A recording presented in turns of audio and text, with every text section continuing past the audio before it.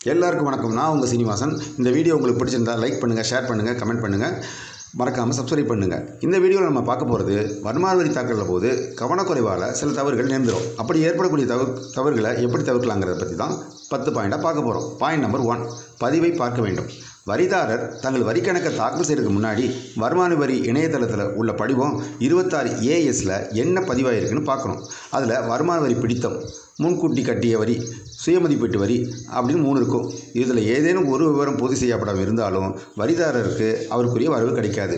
Advance tax self assessment tax பற்றி தான் இப்போ சொல்கிறோம் உதாரணமாக உங்களுக்கு வருமான வரி பிடித்தம் செஞ்சவர் அதை வருமான வரித்துறைக்கு செலுத்தாவிட்டாலோ செலுத்திய பின் அதுக்கு உரிய படிவத்தை தாக்கல் செய்யாவிட்டாலோ அல்லது அது தாக்கல் செய்யும் போது மிஸ்டேக் பண்ணியிருந்தாலோ அதற்குரிய வரவு உங்கள் இருபத்தாறு ஏஎஸில் வந்து சேராது.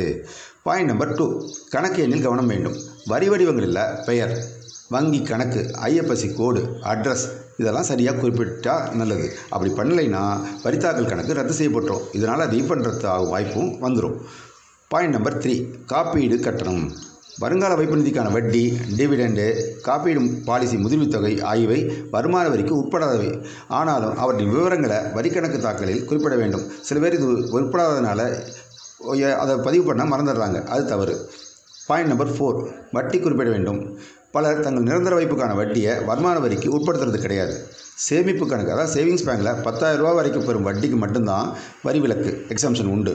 அதற்கு மேல் பெறும் தொகைக்கு உரிய வட்டியை கட்டியே ஆகணும். பாயிண்ட் நம்பர் ஃபைவ் ஃபார்மை பார்த்து கரெக்டாக ஃபில்அப் பண்ணணும். சரியான படிவத்தை பூர்த்தி செஞ்சு கொடுத்தா தான் வரி படிவங்கள் முறையாக தாக்கல் செய்யப்பட்டதாக எடுத்துக்கணும். இல்லைன்னா நிராகரிக்கப்பட்டுவிடும். பாயிண்ட் நம்பர் சிக்ஸ் கையெழுத்து அவசியம். மின்னணு தாக்கல் முறையில் தாக்கல் செய்தாலும் ஒப்புதல் படிவத்தை நூற்றி இருபது நாளுக்குள் அதாவது நாலு மாதத்துக்குள்ளே கையெழுத்திட்டு சென்ட்ரலைஸ்டு ப்ராசஸிங் சென்டருக்கு அனுப்பணும். மின்னணு முறையில் அல்லது டிஜிட்டல் கையெழுத்து ஒப்புதல் படிவமும் தாக்கல் செய்யலாம்.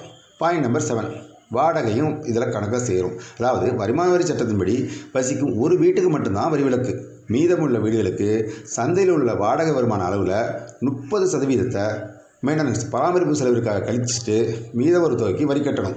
ஒரு வீட்டு வாடகை பத்தாயிரம் ரூபாய்னா அதுக்கு மூவாயிரம் ரூபா மெயின்டெனன்ஸ் காசு கழிச்சிட்டு மீத உள்ள தொகைக்கு கண்டிப்பாக வரி கட்டணும். ஒரு வீட்டுக்கு மட்டும்தான் வரி விலக்கு. பாயிண்ட் நம்பர் எயிட் சம்பளங்களை சொல்லணும்.